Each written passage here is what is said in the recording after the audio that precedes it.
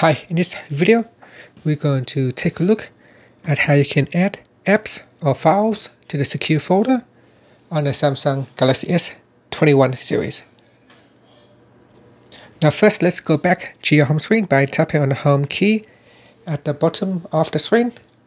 Then we're going to swipe up to go into the app screen. Next, tap on the secure folder. Once the secure folder has opened, tap on the option key up here and tap on add files. Now in add files, you can add different kind of files such as images, videos, audio, documents. You can also tap on my files to open up the file manager and in here you can go to a folder that has all the files that you would like to add. So for example, I'm going to go into downloads and say I want to select these two files then tap on done. And in here you will have a chance to either copy or move the files. So let's say I'm just going to uh, copy the files into the secure folder.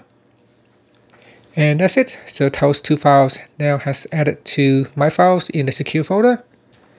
And if you want to add more apps to the secure folder you can tap on the plus button up here or the add button from the list of all the apps available for you to install in your secure folder. So here, let's say I want to add in YouTube app to my secure folder, then tap on add.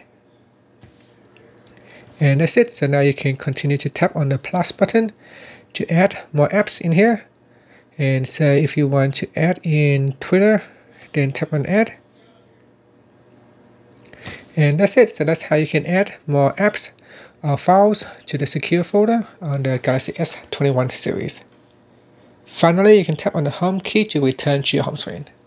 And that's it. Thank you for watching this video. Please subscribe to my channel for more videos.